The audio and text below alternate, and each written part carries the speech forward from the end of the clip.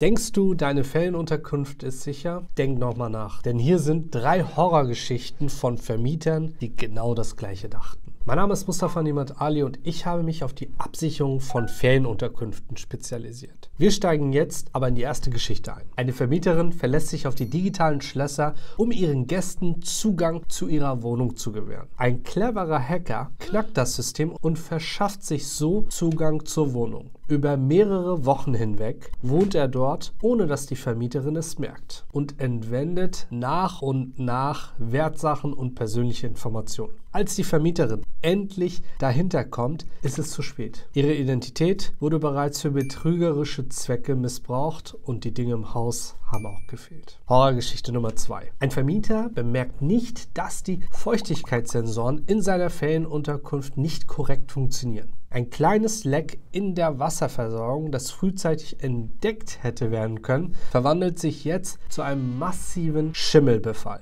Als der Vermieter endlich darauf aufmerksam wird, muss die gesamte Wohnung saniert werden, das zu enormen Kosten und Einnahmensausfällen geführt hat. Und Horrorgeschichte Nummer 3. Ein Vermieter vermietet seine luxuriöse Ferienunterkunft an ein scheinbar nettes Paar. Eines Tages erhält er einen Anruf von der Polizei. Die Gäste waren eigentlich Teil einer organisierten Bande, die hochwertige Wohnungen mietet, um dort illegale Aktivitäten durchzuführen. Die Wohnung wurde als Zentrum für betrügerische Aktivitäten genutzt und der Schaden beläuft sich auf Zehntausende Euro, ganz zu schweigen vom Imageverlust der Ferienunterkunft. Willst du also, dass deine Ferienunterkunft die nächste Horrorgeschichte schreibt? Nein, dann nimm gleich Kontakt mit uns auf, damit wir dieses Risiko so gut wie möglich absichern können.